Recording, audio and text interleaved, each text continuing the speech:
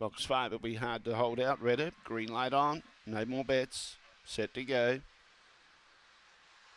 Away in racing, fairly even line, starting to find room as Serendipity Gold, but Colquitt Nicky starts to burn across. Serendipity Gold copped the check and also checked out of that was Lady Pippa, and Redo copped a slight bump as well. They bunch up down the back. Two jobs getting up on the inside of Colquitt Nicky. Serendipity Gold recovers quickly. Oh, yes, they've got the cash here.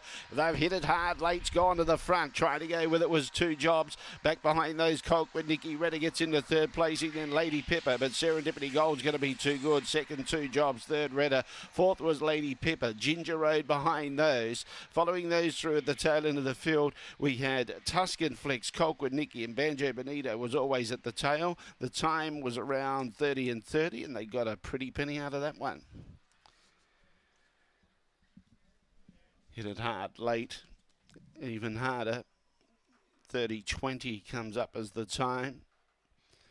Got in as short as $2.20 copped a check on the first turn, 30 28 actually that time, but they were spot.